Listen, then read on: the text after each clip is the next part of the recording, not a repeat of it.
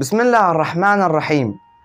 روى الحاكم الحسكان الحنفي قال أخبرنا أبو عبد الله الشيرازي عن أبي هريرة قال إن رجلا جاء إلى النبي صلى الله عليه وآله فشكى إليه الجوع فبعث النبي صلى الله عليه وآله إلى بيوت أزواجه وسألهن هل عندكم من الطعام؟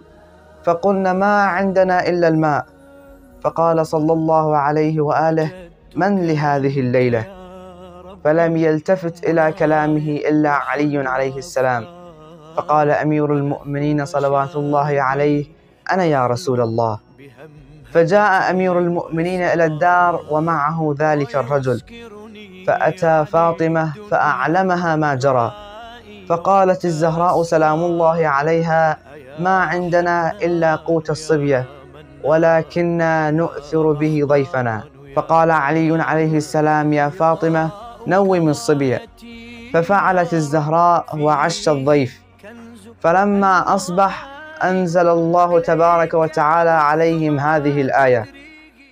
ويؤثرون على أنفسهم ولو كان بهم خصاصة. اللهم اجعلنا من شيعة أمير المؤمنين صلوات الله عليه.